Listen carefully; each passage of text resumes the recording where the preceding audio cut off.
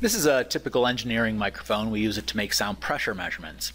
And this device is specifically designed to have a flat frequency response, which means that it measures or listens equally well at all frequencies.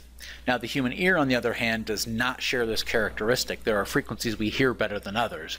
And the A weighting curve is the tool we use to take a microphone recording and adjust it so that it's representative of how a human being would perceive that noise that you measured. So if we look at an example, I've got some white noise here, which is just broadband noise. If I right click on the time history, I can play it back for you here.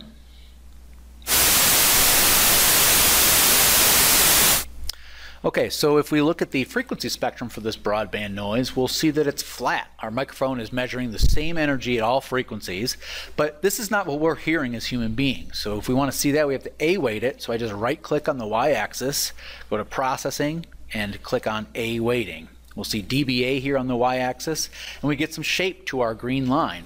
Uh, it kind of shows us some different regions.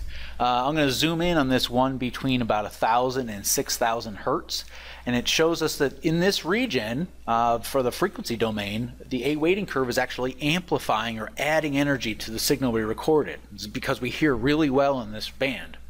So I throw a cursor on here, we can check out the amplitudes between the linear and the A weighted.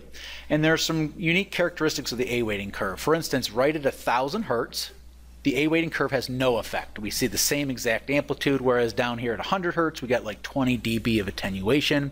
And then in this 1 to 6K band, we see amplification. So it's important to remember uh, that if you're working uh, on noise for a human listener, you want to A-weight your microphone measurements to see how the amplitudes would actually be uh, perceived by a human being and not just a microphone.